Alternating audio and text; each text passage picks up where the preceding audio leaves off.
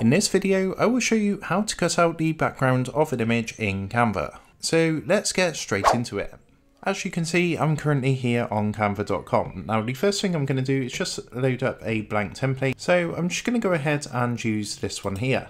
Next, what I'm going to do is drag my image onto the template. So if I come across to the left hand side, I'm just going to click onto uploads, go to images, and I'm just going to choose an image to add. So what I'm actually going to do is click the upload files button and I'm going to use this picture of a cat. So what I'm going to do once this has uploaded is just simply drag and drop this onto the template like so. Now there's actually two ways you can remove the background. Now if you have the premium version of Canva, which is a paid monthly subscription, all you want to do once you've got that selected is come up to the edit image option at the top, give that a click, and you will see the background remover is here. So you can actually click onto that and you'll see after a second or two it's going to remove the background. Now if it's taken away too much or if you want to add some of the background back in then what you can actually do is erase or restore part of the background. As you can see you've got the options to do that there.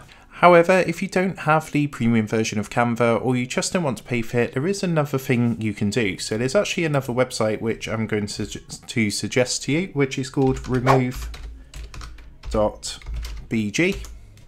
And if you actually come across to this, this is actually a free to use website which will remove the image background for you. So what you want to do is just click the upload image button, go ahead and upload your image. So you can see we're going to use same cat image and you can see straight away this has actually removed the background. So then all you need to do is simply click the download button.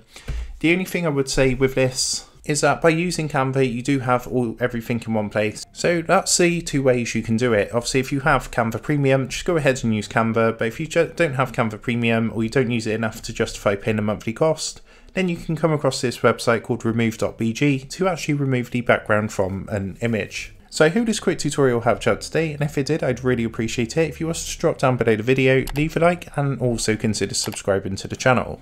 With that being said, I just want to take a moment to thank you guys for watching this video, and I will see you in the next tutorial.